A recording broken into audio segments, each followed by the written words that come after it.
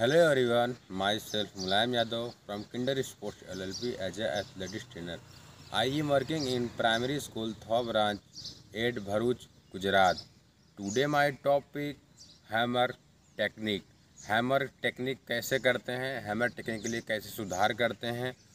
ठीक है? और हैमर के जो स्पेसिफिक जो उसका जो टेक्निक होता है, वो उसको कैसे इम्प्रूव करें? कैसे अपने स्टांस सुधारें? कैसे अपने पैर का स्टांस सुधारें और कैसे जैसे मतलब आपके हैंड जो है, कैसे आपको रिलीज़ करना होता है, ये सब आज इस वीडियो में आपको बताऊँगा। हैमर थ्रो के टेक्निक करने से पहले अपने बॉडी के अच्छे से वार्म अप करना चाहिए, ठीक है? अपने आप 10 मिनट का जो है, आप अच्छे से वार्म अप और रनिंग उसमें स्ट्रेचिंग कर लीजिए ताकि आपके इंजरी के चांस ना हो। इसके बाद आप अपना जो है, एक्टिविटी या वार्म एक्टिविटी इसके बाद जो है टेक्निक आप कर सकते हैं, ठीक है?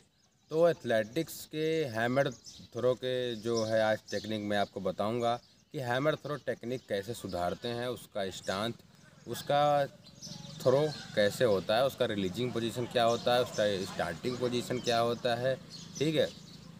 उसका टर्न कैसे होता है, ये सब चीज़ें आज मैं इस वीडियो में आपको बताऊँगा। तो स्टार्ट करते हैं। ये हमारा जो है कौन है? इक्विपमेंट में कौन लेना है आपको? कौन के दोनों? इसके बाद आप हाथ अपने हैंड को जो टाइट रखेंगे। इसके बाद ये पोजीशन होता है हैमर का। ज़्यादा दूर नहीं रहता है एकदम क्लोज रहता है। ठीक है? इसके बाद आपको थोड़ा सा स्टांस लेना है, ताकि सेटिंग जिसको बोलते हैं। इसके बाद यहाँ से उठा के ये ये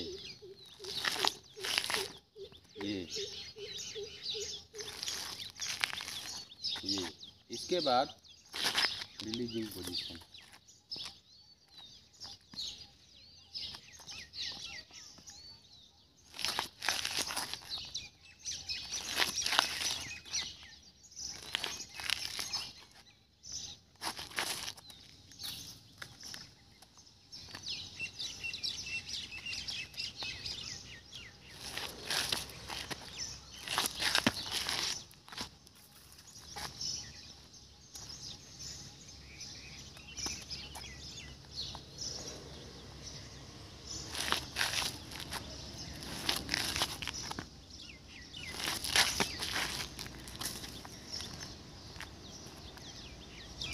इसमें कई टर्न होते हैं, ठीक है? आप टू टर्न से मार सकते हैं थ्री टर्न से मार सकते हैं लास्ट होता है सिक्स टर्न ठीक है?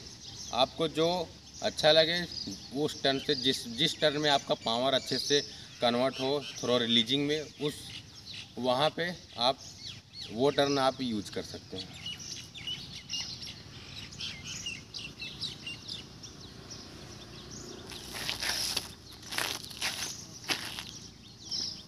ये था टू टर्न। आपको फुल मैंने दिखा दिया। अब मैं जो है वन टर्न से लेकर स्टैंडिंग पोजीशन से लेकर स्टैंडिंग थ्रो से लेकर, मैं आपको सिक्स टर्न तक दिखाऊँगा। ठीक है? ये है हैमर थ्रो का स्टैंडिंग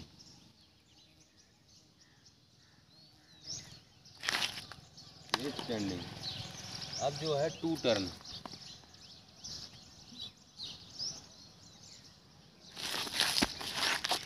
ये होता है टू। अब आएगा थ्री।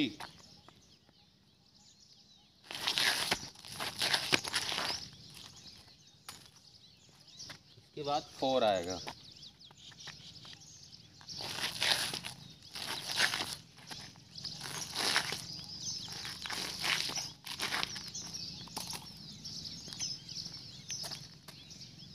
अब आएगा सिक्स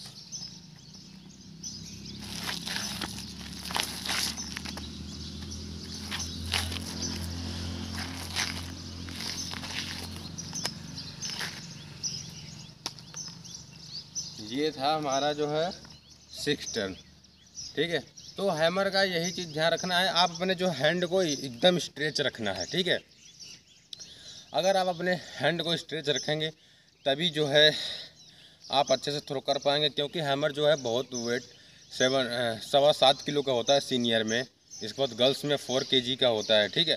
तो ये जो है, आप अच्छे से उसको पकड़ के रखना है, ठीक है? इसके बाद टेक्निक आपका परफेक्ट होगा, तभी जो है आप थ्रो कर सकते हैं, वरना हैमर थ्रो एक ऐसा इवेंट है जो है एथलेटिक में सबसे ख़तरनाक इवेंट माना जाता है। वो किसी भी दिशा में अगर आप अच्छे से नहीं कर पाते हैं, किसी भी दिशा में अगर आप छोड़ दिए तो बहुत ही ज़्यादा नुकसान हो सकता है, चोट लग सकता है, ठीक है? तो इसलिए जो है हैमर थ्रो को अच्छे से पकड़ना है आपको, अच्छे से आपको थ्रो करना है। सबसे पहले उसके टेक्निक अच्छे से सुधारनी है, ताकि जो है, आप अच्छे से आपका स्टांस सुधरे और आप अच्छे से टेक्निक जो है, उसको पकड़ पाएँ और इसके बाद जो है, आप थ्रो कर सकें, ठीक है? तो हैमर थ्रो करने के लिए जो है वो आपके पास हैमर थ्रो होना चाहिए। बट हमारे पास जो है, मैंने आपको टेक्निक बताया कि ये टेक्निक से आप हैमर थ्रो कर सकते हैं। तो ये जो है टेक्निक आप कौन इक्विपमेंट में कौन भी यूज़ कर सकते हैं, ठीक है? कौन से लेकर आप ये जो है अगर 20 से 25 बार रोज करते हैं तो आपके टेक्निक में इम्प्रूव होगा, ठीक है? ये चीज़ आपको करना है। तो थैंक यू।